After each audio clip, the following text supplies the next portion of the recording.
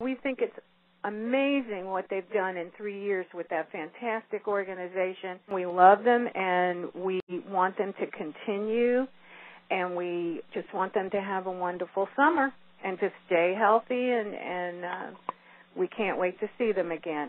And Collison is really helping us out a lot. And go Ibaka. What a great season ahead, and Westbrook is great. Just, just Kevin Durant is too. Now, these people that's criticizing them need to get a life. They couldn't even pick up a basketball, but yet they can tell them how to play. They did great. They almost won. They need to look at that. I just want to thank the Thunder team for so much fun this season. Never liked NBA. Love the Thunder.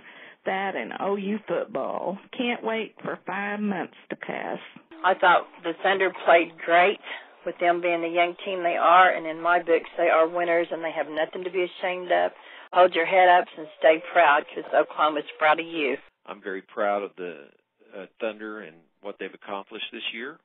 I don't want to be negative about uh, our failure to win the league championship because uh, I felt like that uh, we just weren't quite good enough as a team. I was extremely proud of the way our fans responded in support of our team. I think the biggest mistake that the Thunder made this year was getting Perkins. Uh, they're paying him uh, what they're paying him for five years. They ought, uh, he ought to be getting uh, one fifth of that for for five years. Not a very good player. They can't win with him, and um, they need to get a better center. On the Thunder, as what they need to do in the off season, number one, get Kevin to gain about 35 pounds and bulk up.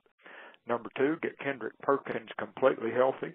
Number three, develop one more really good big man. And other than that, don't change anything. Wow.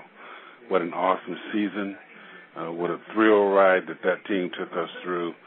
Uh, for us to be only third season in Oklahoma City and to have this kind of performance by our young players was just phenomenal.